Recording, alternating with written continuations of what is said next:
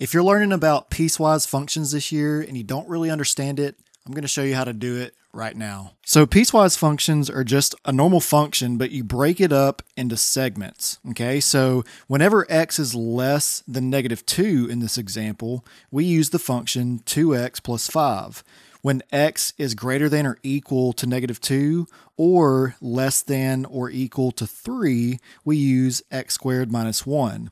And when x is greater than 3, we use 4x minus 7. So whenever we want to evaluate a piecewise function, we're going to look at this. All right, so it says evaluate f of negative 4.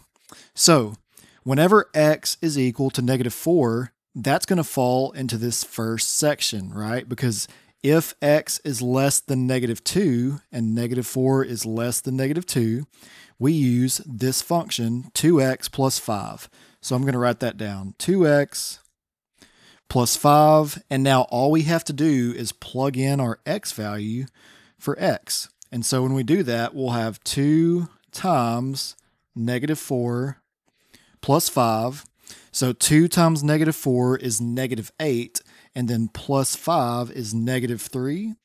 And so that means that f of negative 4 is equal to negative 3. And that would be our answer. Okay, so let's do one more example.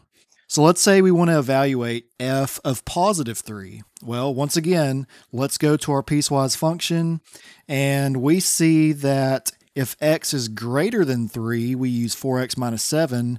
But if x is equal to 3, we're going to use x squared minus 1.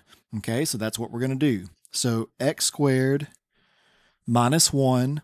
Let's plug in our x value of 3. So 3 squared minus 1. So 3 squared is 3 times 3, which is 9, minus 1 is 8.